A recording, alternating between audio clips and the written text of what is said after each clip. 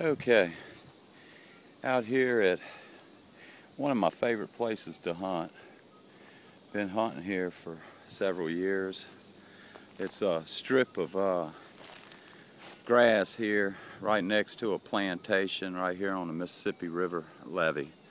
Um, just found something in a hole over here, came to get my camera. I'm gonna walk back over here and see what I got. And there's my machine. And if you look down this way, you probably see my dad. Dad's back out hunting with me after uh, recovering from from an injury to his leg. He's been down for about five, six months. I really haven't been hunting that much without him.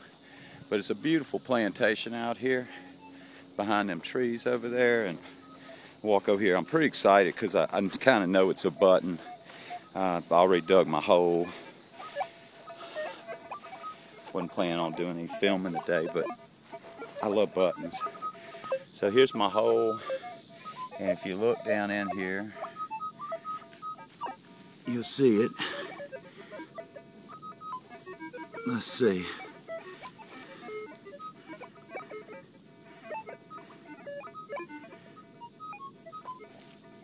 Oh yes, it's a uh, it's a two-piece button. Let's see what's on it. Oh my goodness, it's a uh, I don't know if this is even focusing in, but it's a C button. C for Calvary. Looks like it's in perfect shape, no push. The shank is still on it. Oh man, this is just awesome. Wow. A Calvary coat button out here at my favorite place to hunt. Found a lot of buttons out here. I found Pelican buttons, uh, found a lot of Connecticut buttons, a whole bunch of Connecticut buttons, but uh, this is the first Calvary button I've ever found here. I find uh, Confederate stuff here and I find Union stuff here. I found, uh, actually I found a plate out here, uh, parts of a plate, put it back together. Um, this has just been a real good place. Today I found two uh, large cent. One of them I cleaned had 1851 uh, on it.